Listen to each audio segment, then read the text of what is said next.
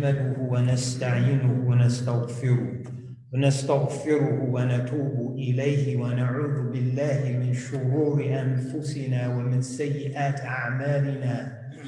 من يهده الله فلا مضل له ومن يضلل فلا هادي له.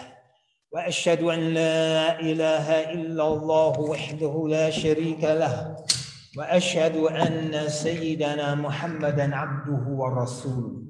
يا أيها الذين آمنوا اتقوا الله حق تقاته حق تقاته ولا تموتن إلا وأنتم مسلمون.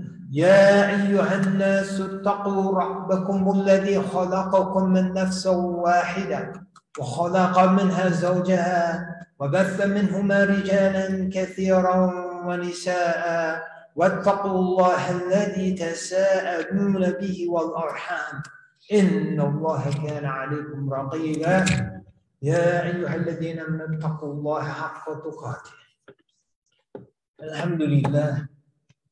الحمد لله الذي هدانا لهذا وما كنا لنهتدي لولا أن هدانا الله. All praise is due to Allah who has guided us to this path of Islam. And we would not have been able to guide ourselves had not Allah. In His infinite mercy chosen to guide us. Allah Ta'ala mentions in the last verse of Surah Al-Hajj, أعوذ بالله من الشيطان الرجيم بسم الله الرحمن الرحيم وجاهدوا في الله حق جهاده هو اجتباكم وما جعل عليكم في الدين من حرج ملة أبيكم إبراهيم هو سماكم المسلمين من قبل وفي هذا ليكون الرسول شهيدا عليكم ولتكونوا شهداء على الناس. فليقيموا الصلاة وآتوا الزكاة واعتصموا بالله. ومولاكم نعم المولى ونعم النصير. So Allah mentions in the Quran struggle in the way of Allah as should rightfully be the case. When I thought of uh, Jumu'ah today, said these verses, then I thought I might have already discussed them, but any verse in the Quran you could discuss a year worth of khutbahs. So I'll try to approach it from a different angle just in case. I did mention these verses before. So Allah Ta'ala mentions, وَجَاهِدُوا فِي اللَّهِ حَقَّ جِهَادِ Struggle in the way of Allah as should rightfully be the case. Three meanings in a different, in addition to the linguistic meaning, which we just translated. And which means just strive in the way of Allah with everything you have, with all of your might, because we'll never fulfill the right that Allah has over us. Haqqa jihadi. The right that Allah has over us is too great. So essentially, we're being told just to give it all you have. But three specific meanings are mentioned by the ulama. One, وَجَاهِدُوا فِي اللَّهِ حَقَّ جِهَادٍ Struggle at the end of Islam as those who preceded us struggled at the beginning.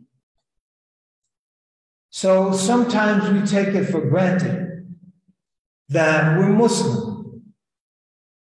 We're born in a Muslim family, or the circumstances led us to convert. And we take it for granted that this religion just came to us. I was a convert and I was searching for, uh, before I converted, I was searching for religion, and alhamdulillah, I found Islam. I was born in a Muslim family, alhamdulillah. My parents were very devout and they gave me a good Muslim upbringing, mashallah.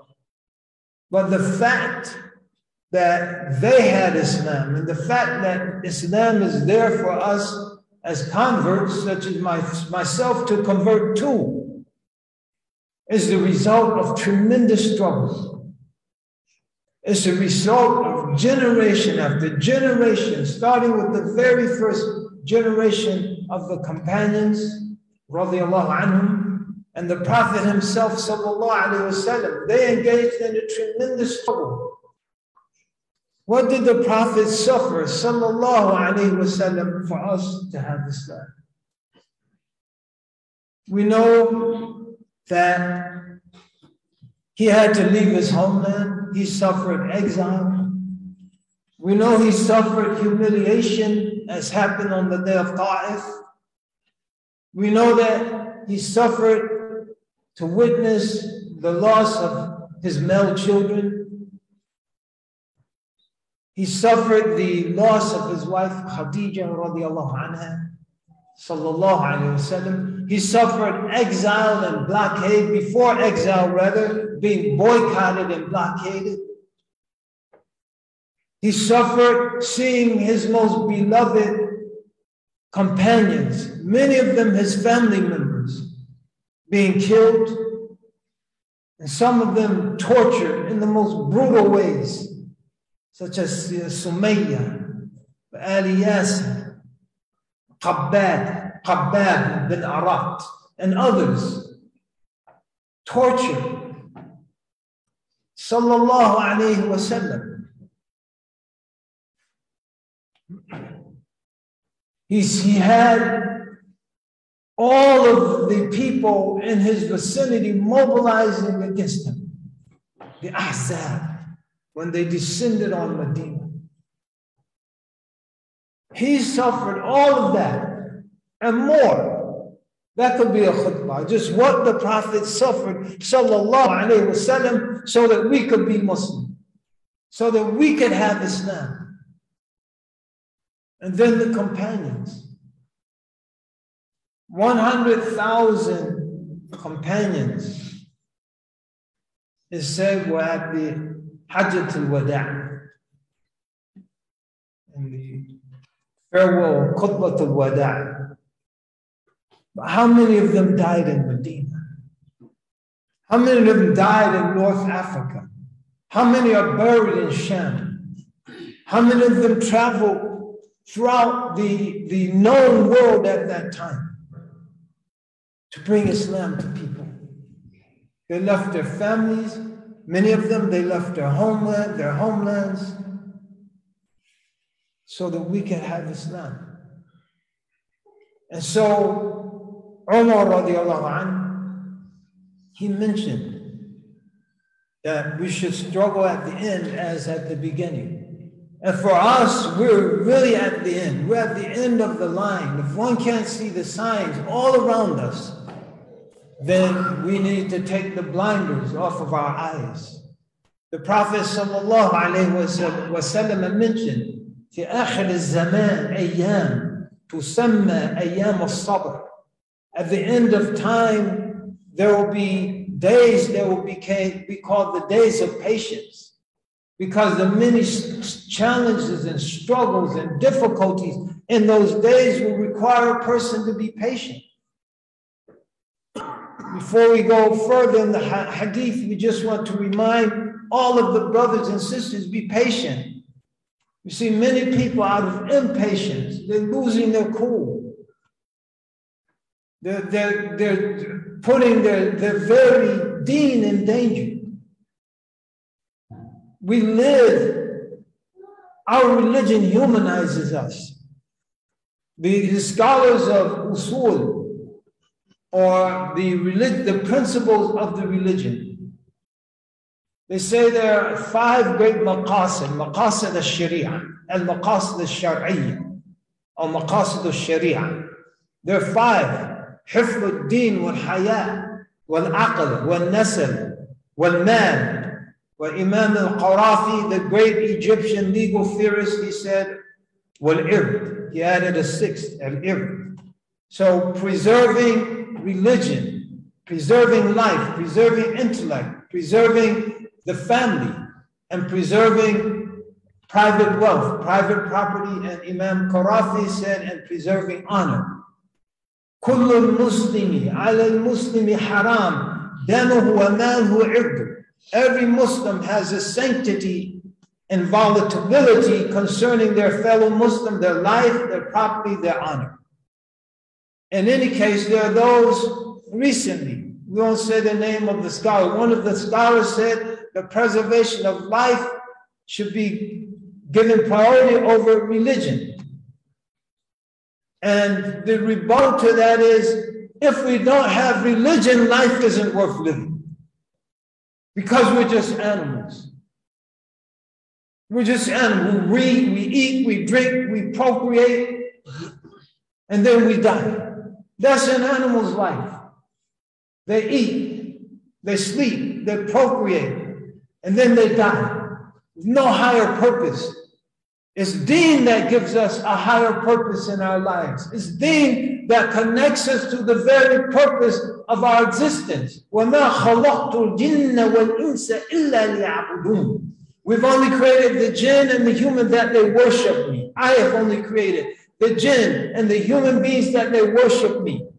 So that's the purpose of our very existence. That's why it's number one.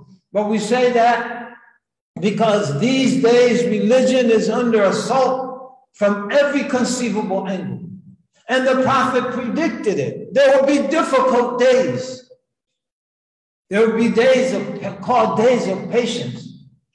والقابض فيها على دينه كالقابض على الجمر and one holding on to their deen, to their religion, in that days, those days would be like one holding a burning coal, a burning ember. It's not going to be easy. It's not going to be easy. And because it's not going to be easy, the Prophet wasallam promised a great reward. الأجر بقدر المشقة a principle in our religion is that the reward we get is commensurate to the struggle. And because at the end of time it's going to be so difficult to hold on to the religion, what is the reward?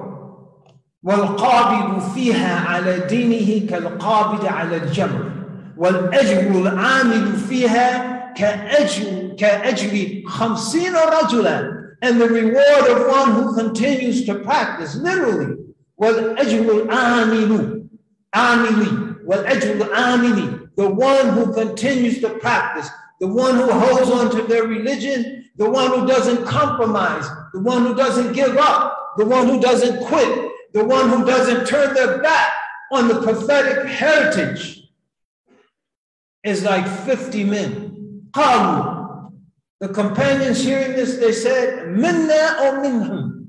Minna or minhum. 50 of us or 50 of them. Minkum, 50 of you. The reward of 50 companions. But we have to struggle, brothers and sisters. And that's what the struggle is difficult. But the reward is immense. As you encounter the various challenges of this day, whatever that challenge might be. And they come in so many different forms today, so many different layers and so many different levels.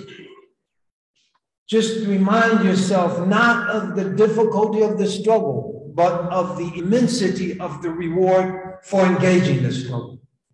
The immensity of the reward. Allah give us tawfiq. Jahidu fillahi haqqa jihadi. Struggle in the way of Allah as should rightfully be the case, struggle at the end of Islam as they struggled at the beginning. This is a religion of struggle. And the struggle, again, it comes in various, it could be very personal, it could be communal, it could be ummah wide. But just start with yourself. Start with yourself and struggle with those personal challenges that you find in your life. Another meaning, وَجَاهِدُوا فِي اللَّهِ حَقَّ جِهَادِ One of the companions mentioned, وَلَا تَخَافُونَ لَوْمَةَ لَائِمٍ It means not to fear the criticism of the criticizer. Many people are embarrassed away from their religion.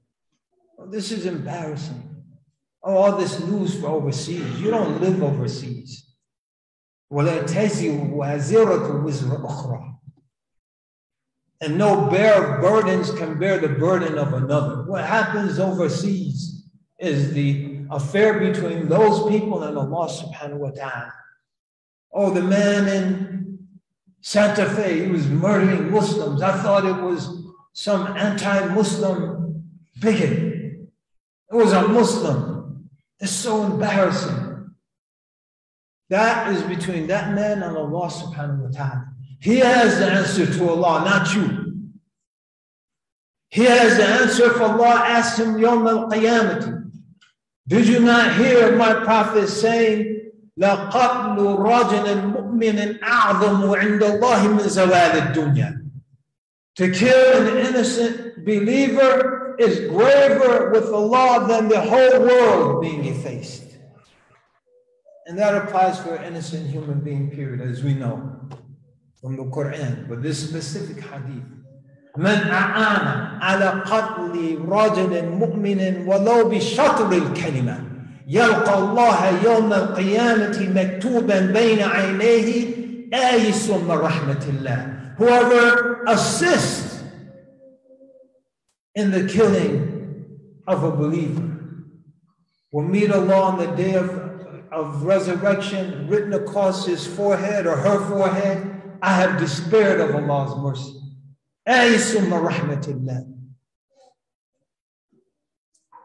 So worry about yourself. Undertake your responsibilities. Understand you are going to stand before Allah, not what someone or groups or organizations that claim to be Muslims are doing halfway around the world. Not some misguided emotionally deranged, deranged person is doing in Santa Fe, New Mexico. But what you are doing with your life and the time Allah has given you. So don't fear the criticism of the criticizer. Because if someone who has abandoned religion, someone who in fact might have declared war on religion, generally and Islam specifically, criticizes you, it means you must be doing something right. You must be doing something right. Or they'd be praising you. ولا يخافون لومة لائم Abdullah bin al-Mubarak rahimahullah the great giant from amongst the Salaf, the early generations he says وجاهدوا في الله حق جهادي جهاد النفس والهوى to struggle against your soul and the whims that come to you. Now we, we live in an age where one of the slogans of the age is surrender to your desires, give in to your hawa. Give in to your hawa. Anything suggested to you, act on it. Hey, you look nice with purple hair. Go ahead, dye your hair purple. Don't think twice. Don't think twice. Oh, you should burn your hijab too. I'm not supporting the Iranian government. Police brutality, people being killed and, and under police or state custody is a crime. Protest against the crime. Where does burning the hijab come from? Ain't Allah. Where's Allah? Where's our responsibility to Allah? Where's our love for our, for our deen and for the sha'a'ir, the very symbols of the religion? This, oh, it's the thing, it's doing, that's what they're doing. Everyone's doing it. I'm going to do it too. واما من خاف مقام ربه ونهى النفس عن الهوى فان الجنه هي الماوى as for one who fears the time they will stand before their Lord. وأما من خاف مقام ربه ونهى النفس عن الهوى and denies the soul the whims and caprices and suggestions that it brings to them. فإن الجنة هي المأوى. Jannah, paradise will be their resting place.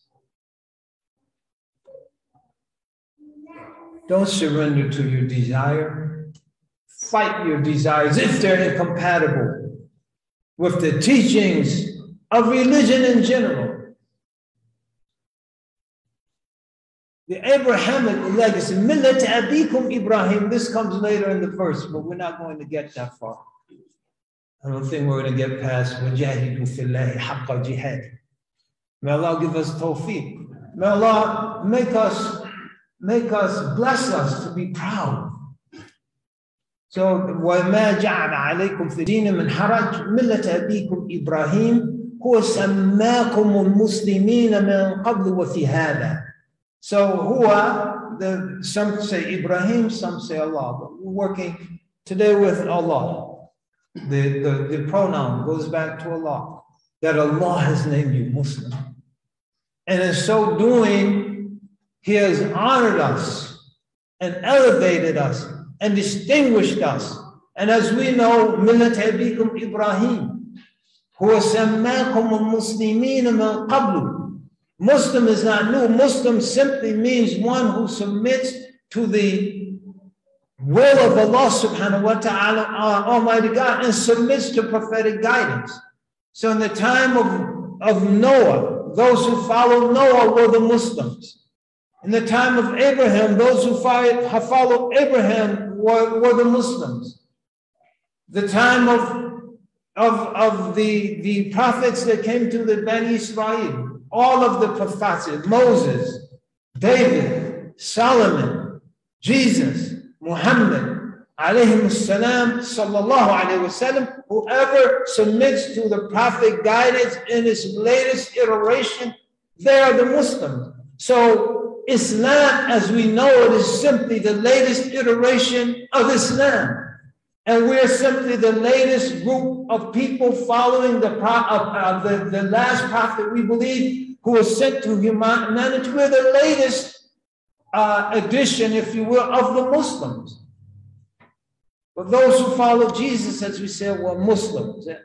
As we said, no need to repeat. So may Allah subhanahu wa ta'ala bless each and every one of us to be proud of that name, Muslim, to be proud of this religion, Islam as one of the uh, early people, I forget his name, said in a verse of poetry, Abil Islam, لا أبا لي سواه وإن فخروا بالقيس والتميم وتميم that my father is Islam, Abil Islam.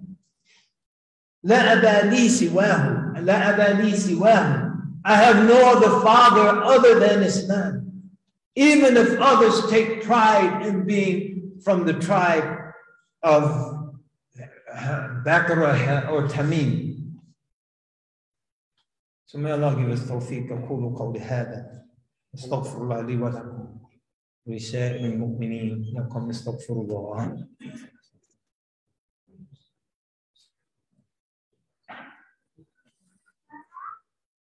الحمد لله رب العالمين والصلاة والسلام على سيد المرسلين سيدنا محمد وعلى آله وصحبه وسلم. But even if they take pride in being from the tribe of Qais or Tamim, وإن افتخروا بالقيس بقيس أو تميم. May Allah give us, bless us to be proud to be Muslims. May Allah bless us to understand the, the, the weightiness of this name. الله يجزاك التوفيق اللهم اغفر للمسلمين والمؤمنات والمسلمين اللهم اغفر للمسلمين والمسلمات والمؤمنين والمؤمنات